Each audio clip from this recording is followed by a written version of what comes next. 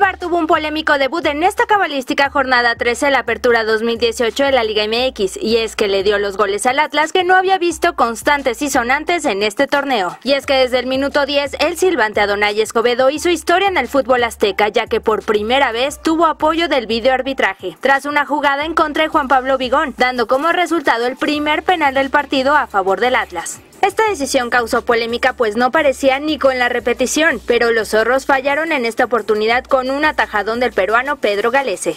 El VAR llegaba para quedarse, y a los dos minutos de esta falla, un tiro de esquina derivó en otra falta, una vez más en contra de Atlas al lesionar a Andrés Andrade. Pero en esta ocasión, el penal que Escobedo les marcó de nuevo a favor sí lo harían efectivo al darles el empate. Cuando parecía que ya teníamos suficiente las revisiones, al minuto 31, sin titubeos, Escobedo marcó el tercer penal de la noche por una mano de Leighton Jiménez, pero a pesar de la seguridad que mostró, pidió el apoyo del VAR para confirmar, lo que fue la única falta de este duelo que no duda alguna, y con ello los jarochos tomaban la delantera del encuentro. En el primer tiempo, sin duda el VAR fue protagonista al marcar tres faltas, de las cuales se derivaron dos anotaciones y un penal fallado. Lo restante de este partido se mantuvo con la vieja escuela como la falta de Paganoni, que en vez de ser revisada se quedó en la decisión del árbitro dejando a Veracruz con un jugador menos, lo que derivó en el necesitado triunfo que anhelaba el Atlas.